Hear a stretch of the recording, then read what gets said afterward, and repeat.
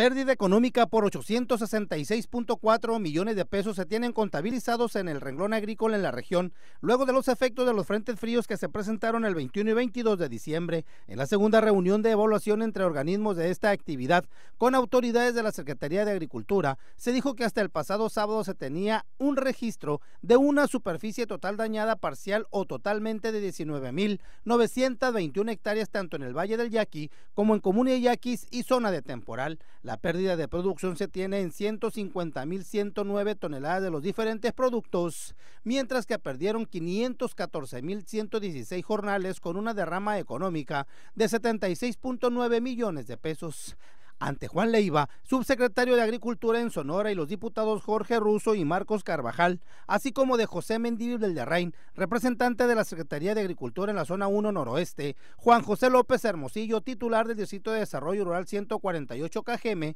detalló que en Calabaza se afectaron 420 hectáreas, Chile 378, papa 1530, tomate 52, tomatillo 137, melón 20, sandía 88, frijol 599 y maíz 14.143 hectáreas. Ahí mismo se puso de manifiesto que es necesario que los apoyos como el empleo temporal deben de llegar lo más pronto posible para que la afectación no sea mayor. Con imágenes y edición de Arturo Campos para las noticias, Marco Antonio Palma.